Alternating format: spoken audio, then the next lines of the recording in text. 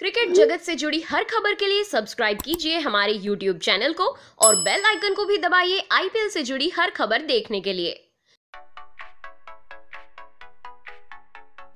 नमस्कार दोस्तों। दोस्तों, अगर आप महेंद्र सिंह धोनी के सच्चे फ़ैन हैं तो इस वीडियो को दिल से लाइक ज़रूर करें।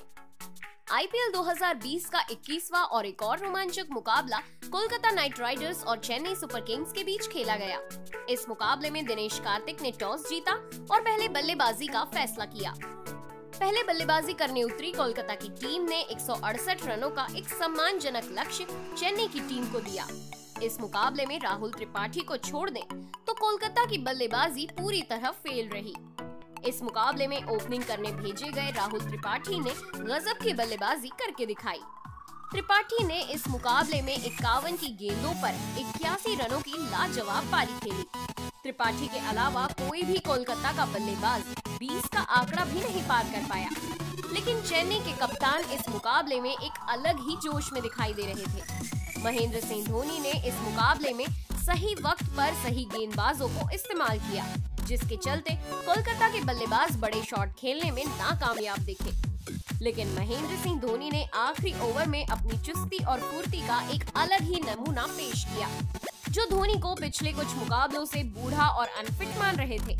उनको धोनी ने इस मुकाबले में एक अनोखे तरीके से मुँह तोड़ जवाब दिया। दरअसल दोस्तों, कोलकाता की पारी का आखिरी ओवर चल रहा था और वो ओवर चेन्नई के death over specialist Dwayne Bravo डाल रहे थे, जिसकी पांचवी गेंद ब्रावो ने ऑफ़ साइड पर डाली, जिस पर बड़ा शॉट खेलने के चक्कर में शिवम मावी ने बल्ला घुमाया, लेकिन वो गेंद बल्ले को छूती हुई महेंद्र सिंह धोनी की तरफ़ बढ़ी।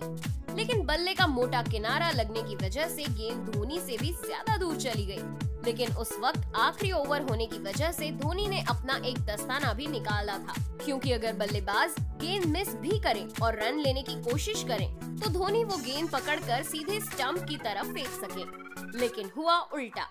धोनी की तरफ़ आया कैच धोनी ने दस्ताने न पहने हुए हाथ को टकराकर ऊपर चला गया।